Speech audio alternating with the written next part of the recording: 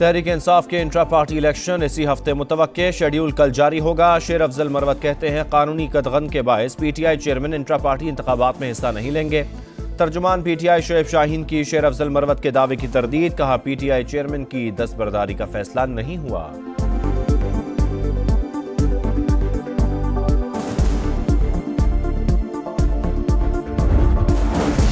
अगवा नाजमूर की दफ्तर खारजा तलबी, बनो हमले में मुलवस अनासर की गिरफ्तारी का मुतालबा।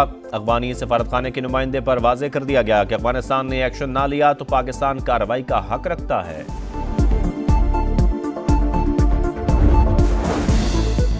अल अजीजिया और एवनफील्ड रेफरेंस में नवाज़ शरीफ और नैब की अपीलें कल समात के लिए मुकर इस्लामाबाद हाई कोर्ट के चीफ जस्टिस आमिर फारूक और जस्टिस गुल हसन औरंगज़ेब समात करेंगे।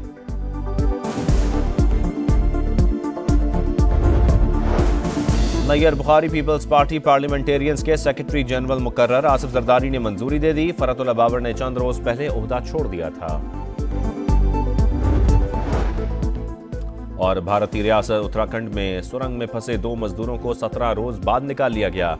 चौदह अभी तक फंसे हुए हैं।